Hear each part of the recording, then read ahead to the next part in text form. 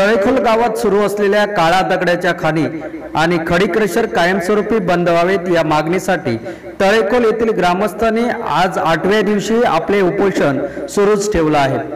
तर या उपोषणाकडे प्रशासनाने दुर्लक्ष केल्याने जनजागृती करण्यासाठी आज तळेखोल ग्रामस्थांनी दोडामार्ग बाजारपेठ ते तहसीलदार कार्यालय अशी जनजागृती फेरी काढली.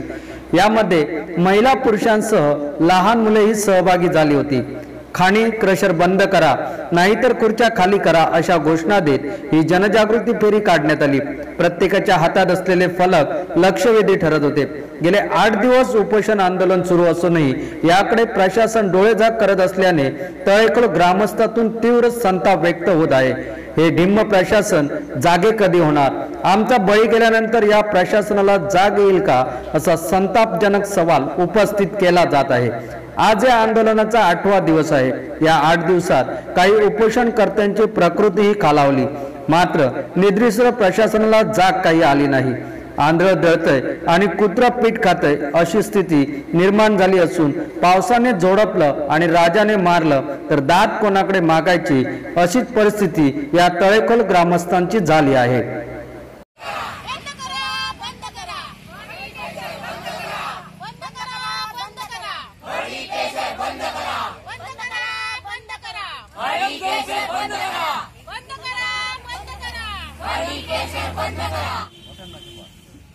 गावाच्या सोयीसाठी म्हणून काहीतरी. माझे नाव उत्कर्षा उल्हास दळवी. मी तळेकल गावची अध्यक्ष आहे महिला अध्यक्ष आहे. आणि काहीतरी गावाचा विकास व्हावा म्हणून आम्ही इथं उपोषणाला बसलो आहे. आणि आमच्या गावात चार केशर आहेत आणि त्यामुळे आमच्या मुलाबाळांना फार त्रास होतोय त्यामुळे. आणि रस्ते पण सारखे नाही सगळीकडे खळगे पडलेले आहेत आणि आता थोड्या दिवसातच प्रदूषण होणार. आणि मग झाडं काय सगळं नाश होणार ना सगळ्यांचा. उत्पादन उत्पादन आणि पाणी पण कमी होणार. आणि केव्हा तरी समज धक्के बसले भूकंपाचे वगैरे तर गावाची नाश होणार ना. म्हणून गरीब जनतेची वाढ लागली. म्हणून आम्ही सरपंच वगैरे सगळे ग्रामस्थ इकडे आलो त्यामुळे आठ दिवस झाले आमच्या उपोषणाला. कोणी चौकशी करीत नाही कलेक्टर पण येत नाही. आणि समजायचं काय आणि सगळ्यांची तब्येत वगैरे बिघडलेली आहे. सरपंचाची सगळं सर्वांची. आम्हाला न्याय पाहिजे. आम्हाला न्याय मिळालाच पाहिजे. नाही तर आम्ही महिला वगैरे. सगळे होऊ दे. होणार ते होऊ दे. आम्हाला रस्ता पाहिजे पाणी पाहिजे. आम्ही आणि आमच्या स्वार्थासाठी आलो नाही पूर्ण गावाच्या विकास आमचा गाव म्हणजे कंप्लीट बॉर्डरवर आहे आमच्या गावात कसली सोय होत नाही कधी. त्यांना आम्हाला सोय पाहिजे आमचा रोड चांगला झालेला पाहिजे आम्हाला. आमची मुलं पुढे कशी राहणार त्या गावात? आम्हीच राहायला कंटाळतो आणि मुलं कशी राहणार आमची? खडी प्रकरण बंद करणं केलंच पाहिजे असं आमचा ठाम निश्चय आहे. म्हणून आम्ही सगळं मंडळी रस्ते आमचे अजिबात आलेलो. आहे. रस्ते आमचे अजिबात जागेवर नाही तर रस्ते बघण्याच्या लायकीचेच नाही बंद करा बंद करा. तुझं नाव सांगा. बोला.